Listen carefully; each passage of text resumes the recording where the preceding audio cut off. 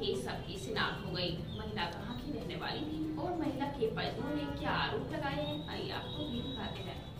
थाना दन्नाहार पुलिस को नहर में 13 सितंबर के दिन एक महिला के सब मिलने की सूचना मिली थी, जिसके बाद पुलिस द्वारा महिला के सबको नहर से निकलवाया गया।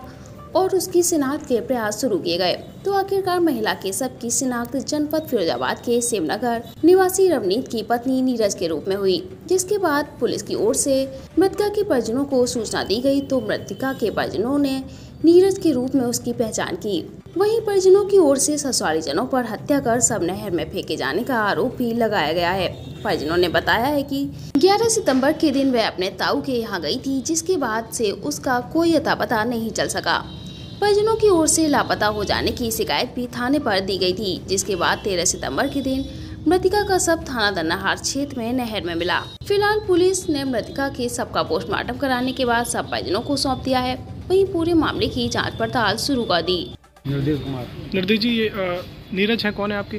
सिस्टर है हमारी। अच्छा क्या पूरी घटना हुई? घटना ये हुई कि ये गाँव में गई थी हमारे ताऊ जी थे उनके क्या कहते हैं कि वो कागौर पड़ती है उसको कागौर खाने गई थी वहाँ से जब कहाँ पर गई थी ये? हम्म, अगला सुबह मुस्ताबाद अच्छा फिर? वहाँ से जब यहाँ आई है तो शाम को बताया गया कि ये गायब हो गई है। और उसके बाद हमने थाने में सूचना दी।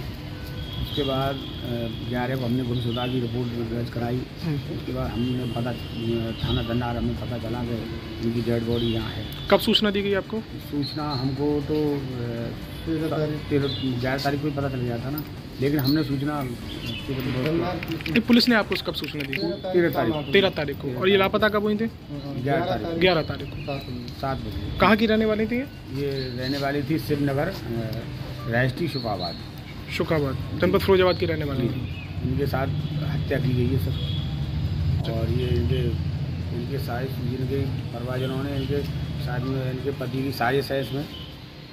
ससुराली जनों द्वारा? ससुराजनों हत्या करके सबको फेंका अगर ससुराजनों की हत्या नहीं की गई तो अभी तक आए क्यों नहीं? अभी तक छुट्टी क्यों नहीं मिल पाई? और आर्मी में छुट्टी आर्मी में छुट्टी क्यों नहीं मिलेगी?